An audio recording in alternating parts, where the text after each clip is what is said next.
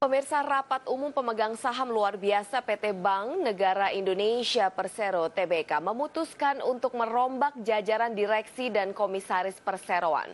Direktur Utama Bank BNI terpilih Ahmad Baikuni menyatakan bersyukur Kementerian BUMN masih mempertahankan mayoritas susunan direksi sebelumnya.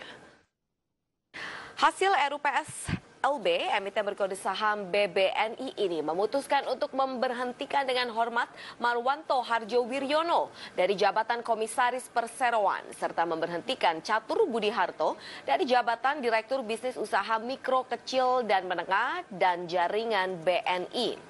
Sementara posisi Direktur Keuangan yang tadinya diisi oleh Anggoro Eko Cahyo digantikan oleh Aryo Bimo sebagai pendatang baru di jajaran Direktur BNI.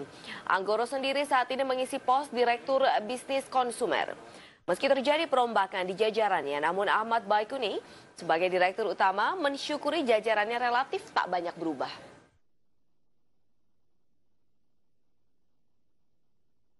Domainnya pemegang saham bukan kita. Ya saya nggak ada komen lah kalau masalah itu ya. ya tapi ya saya bersyukur artinya pergantian kita akan uh, sudah.